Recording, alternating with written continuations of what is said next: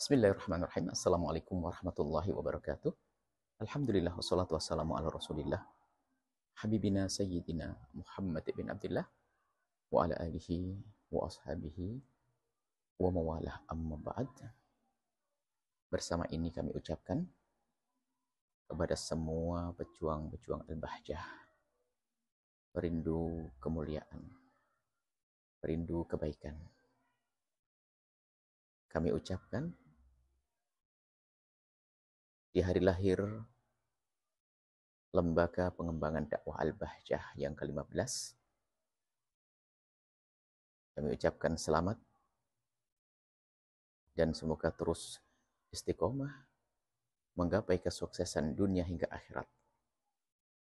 Di Harlah yang ke-15 ini, mari kita perbaharui semangat berjuang menuju al-bahjah damai dan berakhlak mulia. Nuhibbukum fillah. Assalamualaikum warahmatullahi wabarakatuh.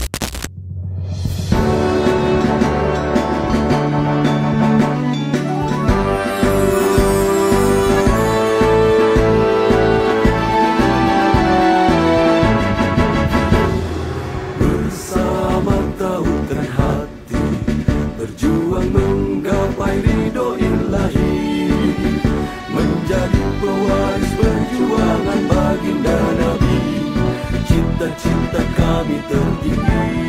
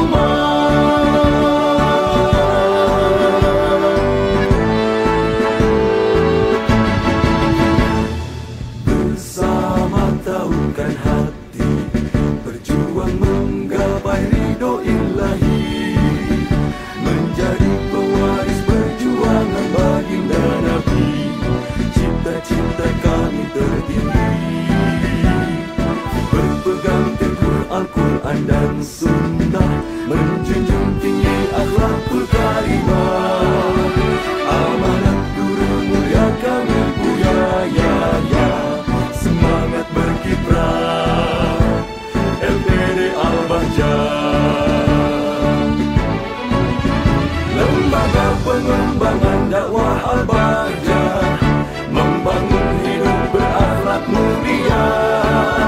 Lembaga pengembangan dakwah al-bajah Menjadi cahaya penerang umat. Lembaga pengembangan dakwah al-bajah Membangun hidup berakhlak mulia.